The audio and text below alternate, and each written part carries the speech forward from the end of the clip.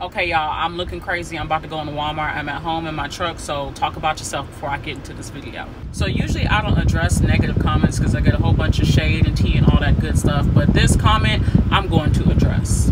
And mostly it's because it's a valid comment. It's a safety concern. And I'm always the one to preach about safety and everything as a truck driver because I've been trucking over the road more than three years and I know how much every little safety decision can be a big difference. But y'all about to get on my nerves. Look, I don't care. I don't care. When I am backing up my semi truck, I'm taking my seatbelt off.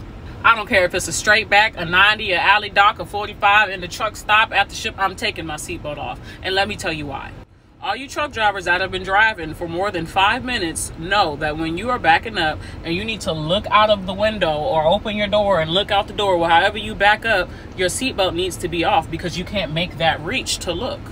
And look, I am that truck driver friend that I harass all